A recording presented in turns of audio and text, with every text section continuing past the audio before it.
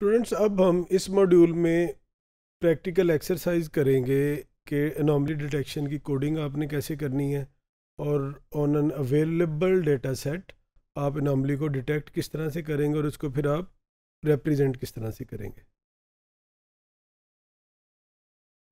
जैसे मैंने कहा कि वो हमारे पास ऑब्जर्वेशन का डाटा आता है बहुत सारी observation it can be anything weather का डाटा फ़र्ज़ करें या आपके पास सेल्स का डाटा ई कॉमर्स का डाटा है आपके पास मेडिकल हेल्थ रिकॉर्ड से रिलेटेड डाटा है तो आपने उसको करना क्या कि आपने ये जैसे इसमें देखिए कि हमारे पास एक्स वन से एक्स एन तक हमारे पास एक जो है वो डाटा सेट अवेलेबल है और अजम्पन उसमें ये है कि वो डाटा जो जो most of the data is you know हमारी जो प्रॉब्लम है उससे रिलेटेड है और वो डाटा ठीक है। जैसे मैंने डाटा क्वालिटी की बात की या कंप्लीटनेस की बात की तो उसमें हमारी अजम्पन यही होती है कि हमारा डाटा जो है मोस्टली दैट इज़ फाइन अगर उसके अंदर कुछ अनामलीज हो सकती हैं। वो सारी की सारी तो अनामलीज नहीं हो सकती। उसका मतलब ये है कि फिर आपका जो डाटा सेट ही ठीक नहीं है या आपका जो डाटा सोर्सिंग का जो क्राइटेरिया वो ठीक नहीं है। तो even you have to go to that level and make sure कि जो डाटा सेट आपने एक्वायर uh, करना है अपनी डेटा uh, साइंस के लिए it has to be on a very good quality उसका जो लेवल है it should be very good. तो फिर उसकी जो ऑब्जर्वेशन है, कुछ ऑब्जर्वेशन हो सकती हैं दैट्स फाइन जैसे मिसिंग रिकॉर्ड है नल वैल्यूज़ हैं that's fine that is acceptable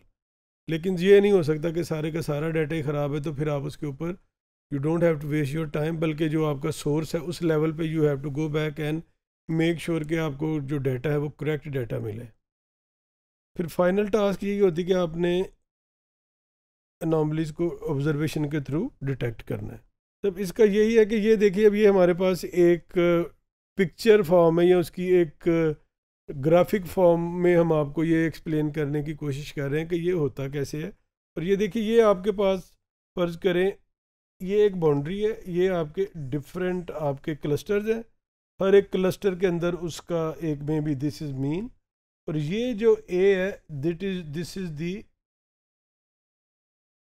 ये एनॉमली है या ये आपका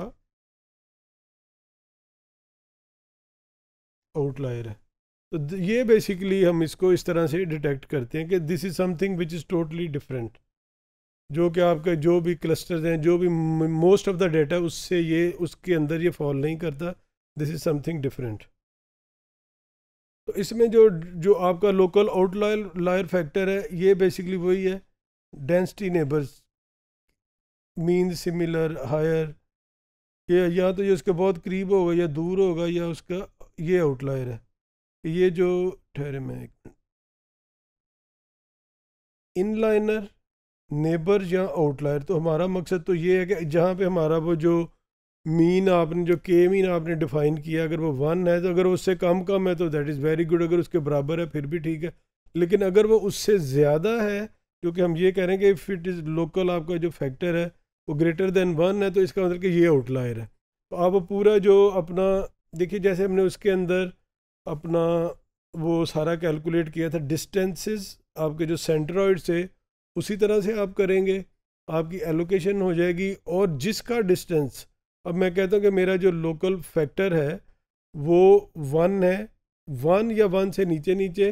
इज़ एक्सेप्टेबल अगर कोई चीज़ वन से ज़्यादा है तो हम कहेंगे कि ये एनॉमली है this is an outlier and that is how आपका जो सिस्टम है, उसको वो डिटेक्ट करता है। अब हम इसकी जो एक्सरसाइज है, उसमें इसको देखेंगे कि आपने सबसे पहला काम क्या किया? कि आपने सेम प्रोसेस है ऑलमोस्ट हमेशा जैसे आप क्रिकेट अगर बैटिंग करने जाते हैं तो you have to go to your crease और फिर आपने you know you have to take the guard and everything else you know इसी तरह इसमें भी हमेशा आपने पहले लाइब्रेरीज़ देखनी है कि आपके पास जो रिक्वायर्ड लाइब्रेरीज़ हैं, वो अवेलेबल हैं। आपकी जो इंटीग्रेटेड डेवलपमेंट एनवायरनमेंट है तो इसमें भी हमने ये किया कि हमने scikit load libraries from the tutorial ठीक है जी आपने आउटलायर्स की लाइब्रेरी ये उसकी जो ब्लॉब्स हैं, वो फिर ये जो रैंडम ये आपने पूरा उसका, उसको बताया कि आपने क्या क्या करना है। फिर आपने preparing random data set for the this tutorial फिर आपने रैंडम डाटा सेट जो है उसको सिलेक्ट किया या सेट किया। ये उसका कोड है आपके पास कि आपके random seed is one X ये ब्लॉब्स ये जो सैंपल 200 सैंपल हैं आपके पास सेंटर एक है क्लस्टर तीन है तो ये सारा आपने फिर उसी को आपने आप देखिए जो आपके पास प्री प्रोसेस डाटा या हमने पहले भी देखा कि के मीन या कोई भी आपकी जो एल्गोरिदम है, उसको अप्लाई करने से पहले के डाटा को भी आप प्लॉट कर सकते हैं, उसके बाद तो आपने डेफिनेटली करना है। तो अभी आपने क्या किया है कि ये स्कैटर प्लॉट से आपने उसका डाटा उसको रिप्रेजेंट किया and this is what you got ये आपके पास एक पूरी, वो एक, आपका जो अपना टू डायमेंशनल डाटा आपके सामने इस वक्त डिस्प्ले में है कि ये एक्स एक्सिस और वाई एक्सिस के दरमियान ये चीज़ें आपकी किस तरह से, उनकी पोजीशन किस तरह से है। उसके बाद फिर आपने ये किया कि आपने define the data model and prediction ये उसका कोड है, फिर आपने ये उसका def we will fit the model with X data set and get the predicted with the fit predict model जो मेथड है। तो ये आपने वाई जो है वो आपका, उसका कोड है, फिर आपने उसको एक्सट्रैक्ट किया है। तो basically step by step code भी अगर आप देखें तो ये आपकी जैसे इंस्ट्रक्शन है, ये इंस्ट्रक्शन है या गाइडेंस है, ये फिर आपका कोड है। तो इस तरह से ये कोड है आपका जो कि लिखा गया और उसके बाद फिर आपने उसको अगेन फिर आपने क्या किया कि उसको आपने यहाँ पे जो था आपका डाटा ये आपका अभी वो, आपने इसके ऊपर अपना जो स्टैटिस्टिकल मेथड है वो अप्लाई नहीं किया था, उसको आप, उसकी विजुलाइजेशन है। यहाँ पे अब उसकी जो विजुलाइजेशन है दैट इज़ अप्लाइंग ये जो पूरा प्रोसेस आपने उसको जब अप्लाई किया तो फिर आपने उसको